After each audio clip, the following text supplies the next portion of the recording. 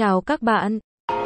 Hôm nay chị Google cùng công chúa nói về thông tin mới về update 20 của Blox Fruit để xem có gì đặc biệt. À quên mất các bạn ơi trước khi bắt đầu video thì các bạn nhớ like, share, sub và bấm chuông để có thêm động lực ra video mới và ủng hộ cho công chúa nhé.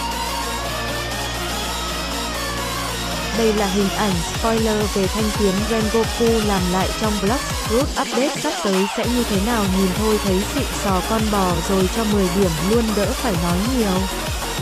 mời điểm mời điểm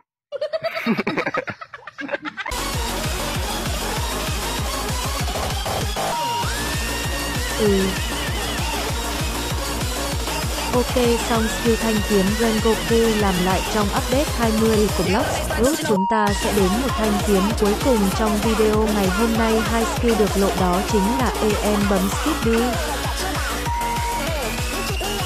Đây là skill thứ nhất của KB Bear sẽ được làm lại trong Block Root update 20. Các bạn thấy sao? Cứ tôi cho lên tới 11 trên 10 luôn đỡ phải nói ít.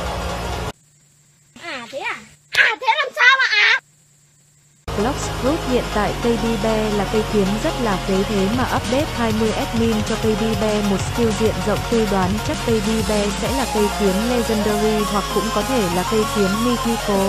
Quá ngon luôn các bạn ơi không biết admin có để KB Bear cách lấy cũ không mà không biết KB Bear làm lại trong update sắp tới có tăng giá không, điều đó hoàn toàn ẩn số. Chúng ta không thể chắc chắn KB Bear làm lại có thay đổi cách lấy hoặc có tăng giá không, hãy chờ update 20 ra mắt rồi chúng ta sẽ biết.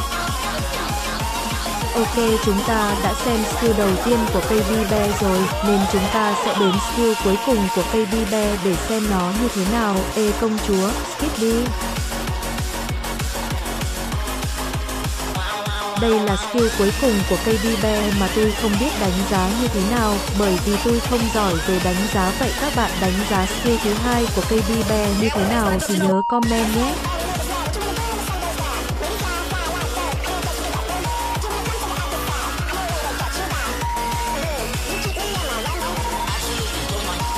Thôi được rồi, các bạn đánh giá cây bi be đủ rồi và các bạn ơi, sau khi xem hết video thì các bạn thấy thế này các bạn thích cây Rengoku hơn hoặc thích cây bi be hơn trong Blox Group Update 20 của Blox Group thì nhớ comment nhé.